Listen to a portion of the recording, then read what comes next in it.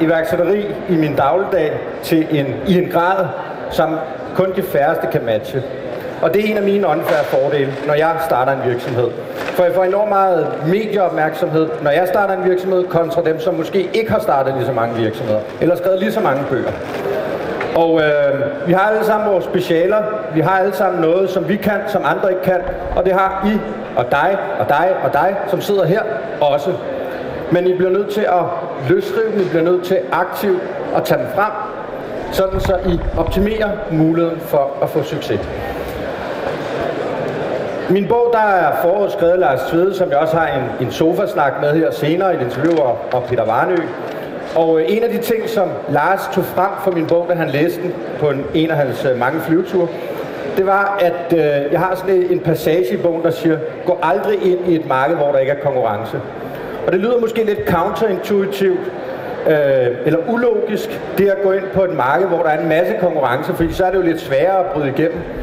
Men et af hovedpointerne i bogen, det er, at hvis du går ind på et marked, hvor der er konkurrence, og der må endda godt være rigtig meget konkurrence, altså det, man kalder et red ocean, så har du fået verificeret, at der er en eller anden form for et produkt, der kan sælges, og der er nogle køber til produktet.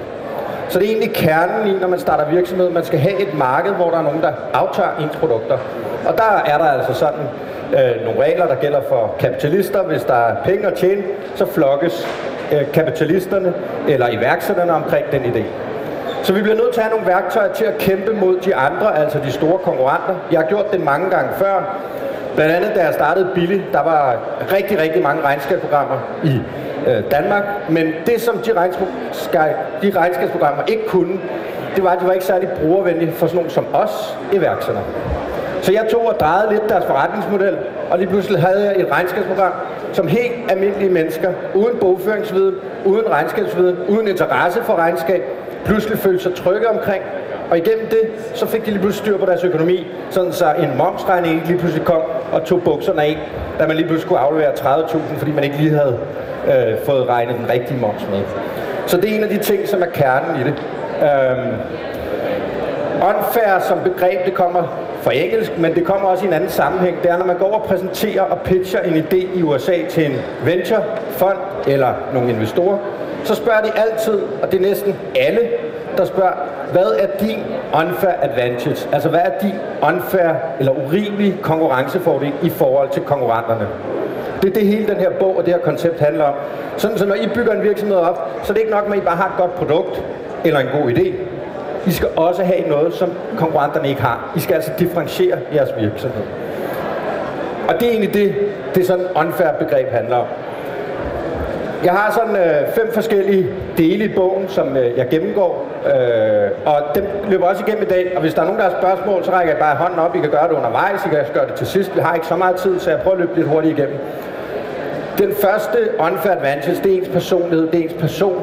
Det, er, det handler egentlig bare om ens selv.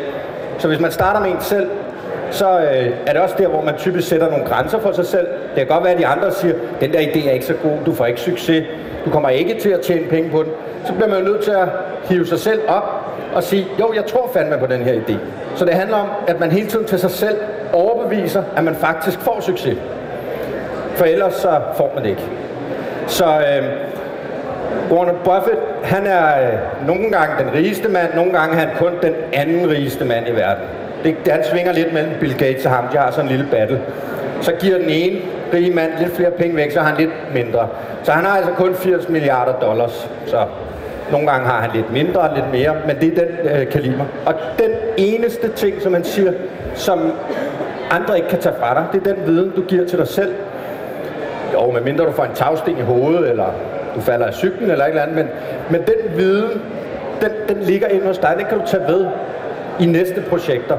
Det vil sige, der hvor du skal investere aller, allermest, det er ikke penge i alle mulige iværksætteridéer. Det er faktisk dig selv. Du skal blive klogere, du skal læse en masse bøger, du skal omgive dig med folk, som er klogere end dig. Det kan være en erkendelse i sig selv, øh, men det kommer jeg også tilbage til. Og så er der en god ting, jeg er sådan meget liberal, det er, at skattefar taxerer heller ikke, jo klogere du bliver, eller jo større investering af dit eget selv, du får. Så øh, du kommer ikke til at betale skat, bare fordi din værdi stiger. Det er jo meget fedt, kan man sige, at tage det med det her med personlighed, man behøver ikke at ligne Arnold Schwarzenegger, men, men han er jo en af de her karakterer, som virkelig trænger igennem. Og den eneste grund til, at han vandt gang på gang øh, verdensmesterskaberne i bodybuilding, det var inde i hans hoved, det var ikke hans krop, det var noget, han besluttede sig for. Og det er det, man skal. Så altså personlighed kommer man ikke udenom, for det er det, du kan tage med videre til andre idéer. Øh, nummer to ting, som er enormt centralt og essentielt for at få succes som iværksætter, det er, hvem du omgiver dig med, men det er også, hvem du har på dit team. Så hvis du er alene om det, så er sandsynligheden for, at du får succes ikke lige så stor, som hvis du er op imod et team. Så det handler altså om, at du skal tiltrække nogen, fordi du har en mega fed personlighed, hvor du kan samle nogle andre folk omkring den her vision, du har som direktør, eller CEO, eller som iværksætter, eller i en gruppe, der kan tiltrække endnu flere, så skal I investere noget tid i at finde de allerbedste til lige præcis jeres idé. Og der er også noget erkendelse i, hvad man er god til, hvad man er dårlig til. Hvad gider man ikke at lave? Er der nogen, der synes, det er mega sjovt at bare sidde og lave regnskab, eller er det mega sjovt at lave markedsanalyser, men man selv synes, ah, jeg er mere den kreativ? Så er det jo ikke fordi, du skal begynde at oplære dig i ikke at være kreativ. Så fokuser på det kreative, så du bliver sindssygt god til det, du allerede er god i forvejen til. Man lærer nogle gange, at man skal lære det hele, og man bliver dygtig til alting. Problemet er bare, at vi har altså kun 24 timer i døgnet. Jeg vil sige, hvis man har børn, og man også dyrker lidt sport, og man også har noget familieliv, så er det altså ikke særlig meget tid. Så overvej lige, hvor det er, du investerer din tid i, sådan så du ikke prøver at blive halvgod til noget, men du bliver ekspert eller virkelig dygtig til det, du brænder for, og så må du finde nogen i dit team, der kan noget andet. Prem Damgaard og Lars Seier, som jeg står med her på billedet, det er nogen, jeg har fået med på min idé på en af mine rejser, hvor jeg selv sidder som direktør, der hedder Bilagskat, sådan så bogholdere, ja, iværksætter ikke behøver at sidde og taste deres regninger, men det sker helt automatisk. Men det bryder jo nogle døre, sådan så når jeg ringer til en journalist og siger, nu skal I høre, vi har startet en virksomhed, det er jo et Lars Preben og Toge, der har startet, så er det bare lige det mere interessant. Så hvis man også får bygget et stærkt team, så er det altså også nogle gange nemmere at komme i medierne på en eller anden måde. Og øh, altså for, for syv år siden, da jeg startede Billy, var der ikke nogen, der vidste, hvem jeg var. Så jeg kom i medierne alligevel. Så selvfølgelig er det nemmere, når man har et navn, men man bliver altså nødt til, som så meget andet, at starte et sted. Så overvej lige, hvordan det er, I kan få bygget en profil op, som er interessant at fortælle til omverdenen. Den tredje ting, der er taget Tesla med, fordi der er meget pres omkring Tesla, men Tesla har et unfair produkt i forhold til alle andre bilproducenter i markedet. Det kan godt være, at Folkevogn de kommer efter det, men i lang tid og i mange år, der er Tesla ligesom bare ejet det der med en elbil, er lige med en, der kører hurtigt, og den er miljøvenlig, og den kører også af sig selv. Den skal ikke så meget på værkstedet, du kan bare opdatere softwaren helt automatisk. Totalt overlegen, totalt unfair i forhold til alle de andre øh, bilproducenter. De er heller ikke de der tunge forhandlere, så prisen er også relativt billig. Ja, lige bortset fra i Danmark, hvor registreringsafgiften er relativt høj. Men ellers så har de altså opnået et eller andet produkt, som man ikke bare lige kopierer overnight. Og det samme kan I prøve at gøre nogle tanker om, hvad er det præcis jeres produkt kan, som konkurrenterne ikke kan. Og hvis ikke der er nogen konkurrenter, så er vi tilbage til starten, så overvej lige en gang, om I er i det rigtige marked. Ikke dermed sagt, at man kan være heldig, og man kan være, måske ramme en timing, der er god. Man kan godt starte et produkt, hvor der ingen konkurrence er. Sandsynligheden for at lykkes er bare det mindre. Så min erfaring er, start der, hvor der er konkurrence. Og derfor skal du også have et produkt, der er differentieret i forhold til dine konkurrenter. Den fjerde ting, det er en anden amerikaner. Øh, det er Peter Thiel. Han var med til at starte PayPal. Han er en del af det, der hedder PayPal Mafia øh, i Silicon Valley. Og en af de ting, han siger, når man har et produkt, og det skal ud over rampen meget hurtigt, og man skal få hurtig traction, altså hurtigt få noget medvind, så skal det, man arbejder med, effektivisere eller hurtiggøre, eller gøre ting billigere med en faktor 10. Så altså, hvis man vil disrupte hvad vi har en, en, øh, en bager, der koster en bolle 10 kroner, ja, så skal man altså ned og sælge en bolle til 1 krone. Det er jo lidt nemmere i den teknologiske tidsalder, så hvis ikke det med fysiske produkter, er det nogle gange lidt nemmere at optimere tingene med en faktor 10. Men det er altså noget, man lige skal overveje, sådan så man ikke siger, at jeg har fundet noget, det er meget billigere end konkurrenten, og så er det måske per procent billigere. Det er ikke altid nok.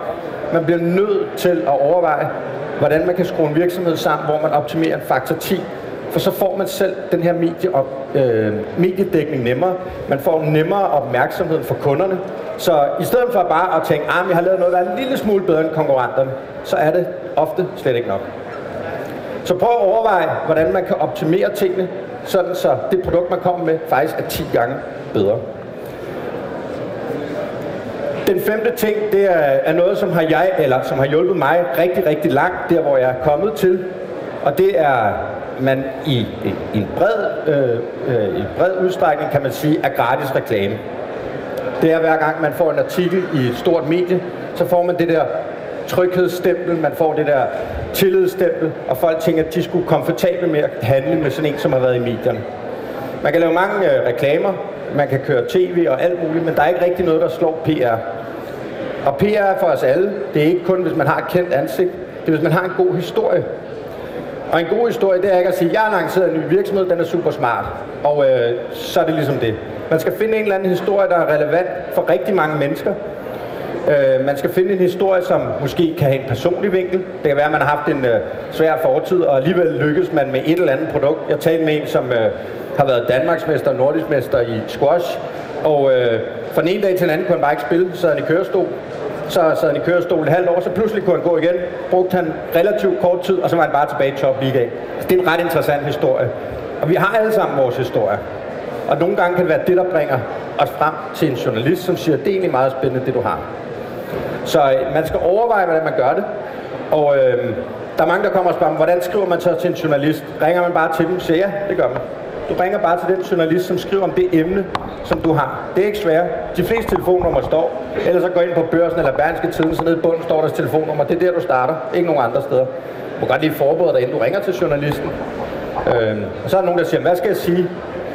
Og det er et rigtig godt spørgsmål, fordi det kan være afhængigt af, hvilken historie du har.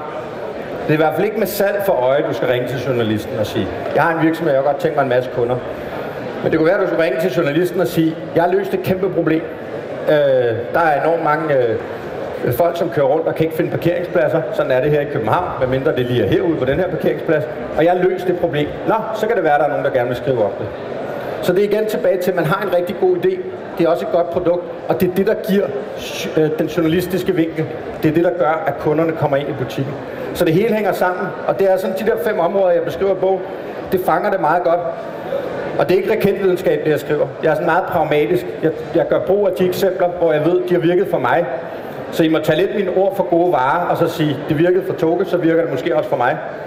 Men jeg kommer ikke med en masse referencer til teori og tunge bøger. Men jeg har brugt 15 år på det, og jeg ved, det virker. Og så kommer der nogle andre og siger, okay, jeg ved, jeg skal ringe journalisten, det skal være en god historie, men hvordan gør jeg så? Der har jeg skrevet to rigtig gode blogindlæg, så hvis I går ind og søger på mit navn, og så skriver PR, og så journalist, ind på Google, så har jeg skrevet to blogindlæg. Den ene, det er en skabelon. I klipper den ud, sætter den ind i jeres e-mail, og så finder I journalistens e-mail, og så trykker I send. Så nemt er det. Det kan være, I får et nej, det kan også være, at de aldrig svarer. Og ved I, hvad jeg så gør? Så tager man bare næste avis, eller en anden journalist. For man får en masse nejer som iværksætter. Og sådan er det bare. Nogle gange så falder man ned af stolen, og nogle gange så bliver man hævet op på en pedestal. Og sådan er det bare. En masse fejl begår vi, og nogle gange lykkes det, andre gange gør det ikke. Og lige præcis det med fejl, der tror jeg, at øh, det er en af de ting, jeg har lært aller, aller mest af ved at være iværksætter. Det er at begå så sindssygt mange fejl. Øh, at nogle gange så ligger man et sånøs om natten, og man kan betale regningerne dagen efter. Øh, især da jeg ikke brugte billig, og ikke helt vidste, hvordan min moms var, så lige pludselig, hov, så var der et brev fra skat. Først får man 800 kroner, fordi man ikke betaler momsen, og så bagefter får man en, en revision, hvor man skal sætte alle sine biler af, og det tager sådan en måned, og så lige pludselig har man en ekstra regning på, ja, jeg havde en ekstra regning på 19.000, som så kom ned på 3.000. Men det tog lige de der tre måneder frem og tilbage med skat, og hvis der er noget, vi iværksætter ikke gider, så er det sgu administration. Det er da at snakke med skat. Altså, det er jo ikke den fedeste, det fedeste opkald at få. Så øh, i Danmark er det lidt sjovt. Man lærer, at man ikke må fejle. Det er jo helt sådan, vi bliver målt på det. Jo mindre vi fejler i folkeskolen og gymnasiet og alle mulige andre uddannelsesinstitutioner, jo bedre er det. Det er vel sådan, at man får allerhøjst karakter, hvis man har lavet nul fejl, er det ikke? Ja, folk nikker. Men sådan er det jo ikke i værksætteri. Der er det jo stik omvendt, eller stik modsat. Eller helt omvendt. Jo flere fejl du begår, jo mere lærer du omkring, hvor det er, du kan gå, og hvor du ikke kan gå. Hvad er ting, der virker, hvad der ikke virker. Så iværksætteri er en totalt omvendt verden af, hvad vi lærer i folkeskolen. Og det er sådan noget, man bare skal være klar over, at det er okay at fejle. En af de ting, som jeg nogle gange øh, får øh, nogle negative kommentarer, øh, især på de sociale medier, hvor det er nemt bare at skrive til alle og enhver, det er, at øh, hvis jeg stikker næsen en lille smule for langt frem, Hvis jeg er en lille smule for fremme i skoene, så siger folk, ah, men øh, man skal heller ikke blære sig med sin succes. Jeg, jo, måske blærer jeg nogle gange med min succes. Hvis jeg lægger et billede op af min Porsche og øh, har skiftet Porsche-skilt ud med mit eget ansigt og forgyldt det og sat det på min bil, så er det måske lidt blær. Men det er faktisk ikke det, der er essensen af det. Det er jeg enormt træt af, at man i Danmark ikke må sige, jeg har succes. Vi skal da have flere succesfulde folk. Vi skal inspirere hinanden. Og som iværksætter er man på en eller anden, i en eller anden grad ret alene om det. Altså, min mor ved ikke helt, hvad jeg laver. Det er sådan lidt diffus, det der IT. Øh, og mange af mine venner ved det heller ikke. Men en ting ved jeg om mine, mange af mine venner, det er, at de har et 8-4 job. De har sindssygt travlt. Især efter de har fået børn, så ser jeg dem næsten ikke. Jeg kommer til at se dem, for jeg tager ud til dem. Men det her med at være værksætteri, det skal man også lige huske. Det koster rigtig mange penge. Men det koster også rigtig meget tid. Det koster mange ærgelser. Man mister måske nogle penge. Man mister måske endda nogle venskaber på det, fordi det ikke gik, som man forventede. Men det er okay, fordi der er altså lys for enden af tunnelen hvis man arbejder hårdt nok. Så jeg tror, essensen af at være iværksætter, er ikke, man, man skal nødvendigvis arbejde 100 timer. Det har jeg selv gjort, og de sidste fire dage er jeg stået op kl. 8 og kom i seng kl. 1, og jeg har også en søn på to, som jeg nogle gange har, når jeg, når, når han er hos mig. Altså, det er ikke noget, man kan gøre hver dag. Men som iværksætter må man bare vide, hvis ikke man yder en stor indsats, tidsmæssig indsats, så er det lidt sværere for succes. Så man skal også gøre lidt op med sig selv, hvor meget man er interesseret i at investere i tingene. Så øh, det er noget af det, jeg gerne vil give med til jer, og som jeg også lovede, så øh, har jeg 100 gratis bøger med. Der gik lidt galt i printmekanikken, øh, øh, så bogen er altså en lille smule skæv, øh, apropos fejl, men øh, jeg synes, at I skal have bogen alligevel. Øh, og sådan går det øh, en gang imellem. Og hvis ikke I lige øh, har tid til at komme ned og hente bogen, så kan I også gå ind på min hjemmeside, tokrose.dk slash unfair, og der kan man også gå ind og købe både den fysiske bog og e-bogen for 149 kroner. Så det er altså ikke fordi, det er en, dyr bog. Og så kan man sige, det er ikke bøger, jeg tjener mine penge på, men jeg kan godt lide at give min, videre, min viden videre til andre iværksættere. Og så er der også en måde for mig selv at systematisere de her ting. Øh, nu har jeg snakket lidt om det her med at være unfair, og det her med at, at lære af sin fejl. Og jeg kan bare kun gentage det. Det gælder for os alle sammen. Hvis ikke vi fejler, får vi heller ikke succes.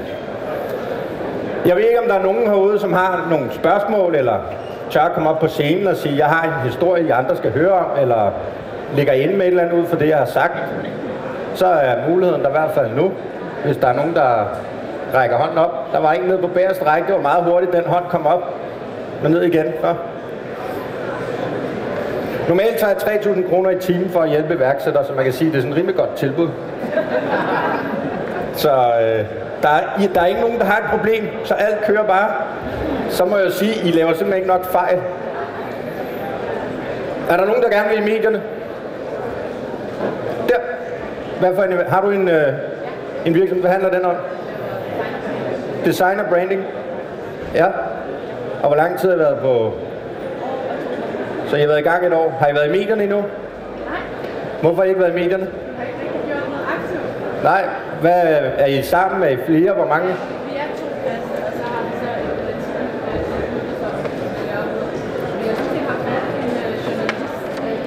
jeg er, på baggrunden. Okay. Det, der bliver sagt, det er, at man skal have en strategi for at komme i medierne. Det er også rigtigt. Har I haft nogle store kunder? Nogle, øh, man kender? Ja. Kan du nævne nogen?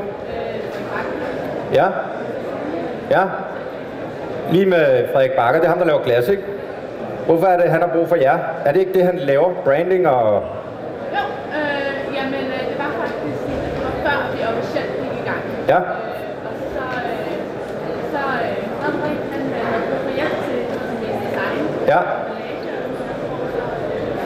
Men der er den gode historie faktisk lige for øjnene af dig.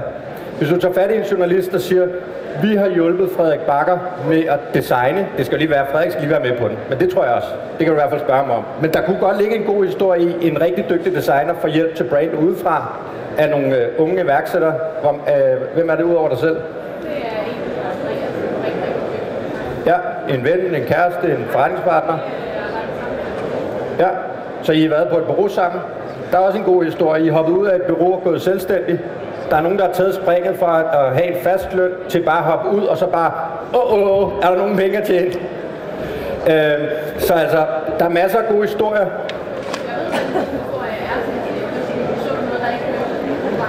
Ja.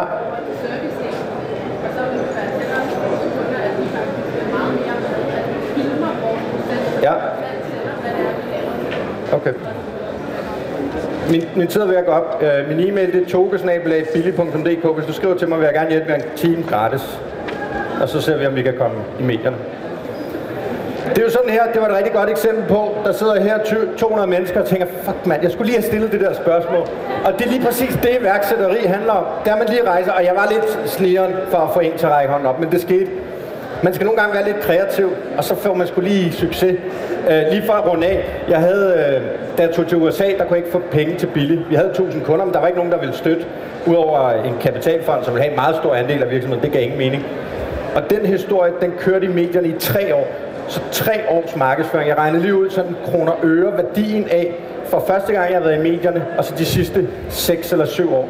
Det er altså 3,5 millioner kroner, og jeg har altså ikke haft penge op af lommen. Jeg har lagt mit navn til, jeg har lagt min, min stemme til, og jeg er kommet med mine virksomheder. Men 3,5 millioner kroner, og så igen tilbage til skat. Det er jo ikke noget, man betaler skat af. Altså det, man stiller en historie op, er jo bare, man fortæller historien, og så kan det da godt være, der kommer nogle kunder ud af det. Så øh, der er masser af muligheder derude, og øh, jeg håber, I fandt det her øh, inspirerende. Og så en lille sidste ting, man skal altid lige have lidt ekstra, det er, jeg ved, at sådan en dag som i dag kan være sådan lidt tør. Man skal lige have lidt salt indenbord, så man... Mm. Så vi har faktisk fået gratis popcornmaskine nede hos Billy. Så øh, tak skal I have.